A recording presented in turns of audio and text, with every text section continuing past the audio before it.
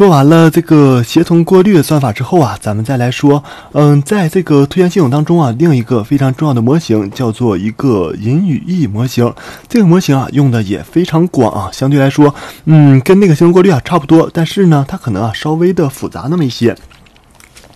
首先啊，咱们来说一下这个云语义模型啊是干做了一件什么事儿吧。嗯，这个东西啊，其实来说，它就嗯，先给大家形象的解释一下，就是说你要给用户推荐，是不是说你要找到用户跟物品之间的一个联系啊？那很多情况下，就是用户和物品之间联系不那么好找，那怎么办呢？咱们需要这样一个中间量，就是有这样一个引语义。引语义的意思啊，就好比咱们之前讲那个神经网络差不多，相当于啊是。嗯，把我的一个就是用户哎转成一个引语义，把我的一个物体也转成引语义，然后这两个东西啊通过引语义再进行一个组合。我们要做的呢是从数据去出发进行啊这样一系列个性化的推荐。然后啊咱们要来讲了，这是核心，就是说呃我们的用户啊和物品之间有着某些程度的一个隐含的关系。我们可以啊用一个隐含的方程来表示着用户和物品之间的关系，只不过说啊这个隐含的方程。我们管它叫做一个引语义吧。引语义啊，相对来说就是，嗯，表现起来就没有那么直观了，可能解释性啊就不是那么强。咱们需要找到这样一个映射，也就是说，这个隐含因子啊，哎呀，咱们人类看起来，嗯，比较复杂，但是呢，让计算机啊能理解起来就好了。所以说呀，我们现在要做的就是说，嗯，将我们的一系列用户跟我们这个物体啊，通过像是一个中介的东西，叫做一个隐含因子，给它联系在一起。我们来看一下。在这里呢，正常情况下，我们有个打分矩阵吧，就是说，现在我有三个人，然后呢，对我三个物品，比如说三本书吧，或者是三个电影，都有个打分吧。那这样我是直接拿到了这样一个 n 乘 m 的一个矩阵，比如说 n 代表着我们有 n 个用户，m 呢表示着我们有 m 个商品。那现在啊，我要做这样一个矩阵的分解，就是说，嗯，咱们这个云语义模型啊是跟这个矩阵分解相挂钩的。我想现在去知道，就是说，嗯，我的一个用户和我的一个隐含因子之间的关系，以及呢，我这个电影它和我隐含因子的一个关系。也就是说啊，现在我直接原来不是用户和我的物体直接相连吗？现再我变一下，就是用户能跟我的隐含因子相连，咱们的电影也能跟我的隐含因子相连，转换成这样两个趋势。转换成这样两个趋势之后，我们来看，现在是一个 f 乘 n，然后又转换成一个 f 乘 m 的吧。那比如说啊，咱们现在。这个 f 乘 n，那转换成 f 乘 n 和 f 乘 m 有什么用啊？我们可以求出来啊，就是说求一下，哎，咱们当前的这个 n 是什么东西？那一旦你求出来了这个 n，是不是我就能把这个式子给它还原了？原式是一个 n 乘 m 的，那我们对于这个 user 的，用它进行一个转置，那是不是它就变成了一个 n 乘 f 的？然后呢，我们再乘上这个电影和隐含因子的一个关系，是不是再乘上一个 f 乘上一个 m 的？这样啊，我就得出来了一个结果了吧？就是我想要的这个 n 乘 m 的一个矩阵吧。这个就是说我们的隐语义模型它是长什么样子的。第一步呢，我们是要做这样一个分解，先把我原始的 n 乘 m 这个矩阵啊分解成啊咱们的一些隐式的，比如说。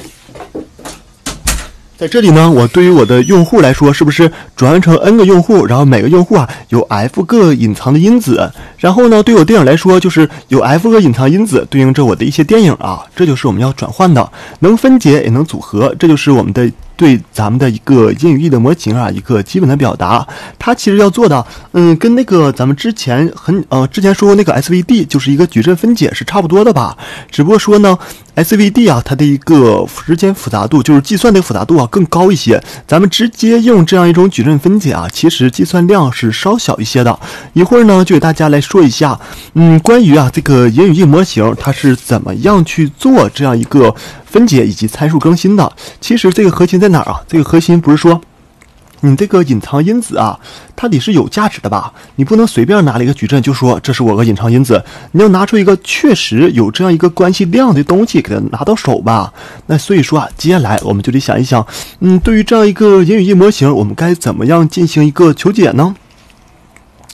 首先啊，咱们来看吧，就是正常情况下，我有个 RUI 吧，就是我的用户 user 对我的一个 item 的一个评分值。现在呢，我给它进行转换，转换成一个 PU 乘上一个 QI。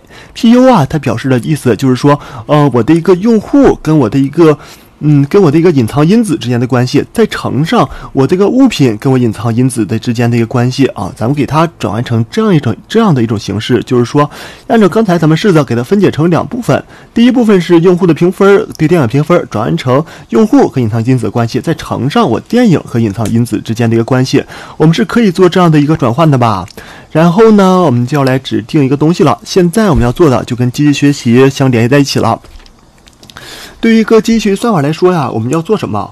是不是说按照之前咱们一个常规的套路来说，第一步我要是第一步啊，我得先把我的一个损失函数，或者说你要优化的一个目标函数找出来啊。也就是说啊，咱们要做的就是怎么样最小化一个值啊，这个是咱们机器学习当中最常用的一个方案吧。所以说呢，第一步啊，咱们来这么做。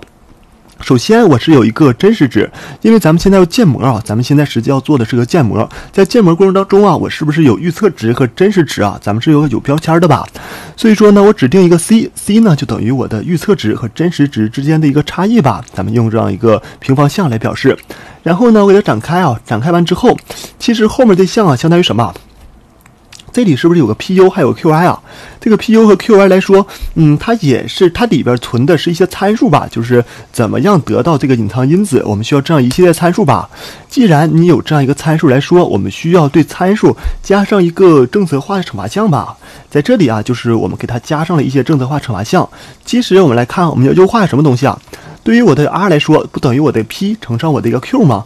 那 p 这里边是不是它是一个矩阵啊？矩阵当中，我要把就是呃咱们的一个用户跟我的一个隐藏因子之间的关系拿出来，这是我要求解出来的 p。q 呢？q 是说对于我的物体和隐藏因子之间的关系吧？我要把 q 求出来。所以说呀，现在我不是要求 p 也要求 q 吗？那这个 p 和 q 对我来说不就是一系列的参数吗？那你要求这样的参数，我们也要加上这样一个正则化惩罚项。所以说呢，一个完整的目标函数啊，就等于这个样子。左边呢是我们的一个 data loss，data loss 里边啊，现在。现在我们的一个 data loss 里边，是不是说有我的评分值和我的一个预测值之间的差异，再加上我的一个嗯，咱们参数的一个正则化的惩罚项啊？这样啊，我就得出来了啊。当前我的一个英语义模型，我要求解和我最终要优化得出来的一个值，它啊一个目标函数，它是长什么样子的？也就是说，最终我们要把这个 p 一、p 一二、p 一三以及呢 q 里边所有的值都给它求出来。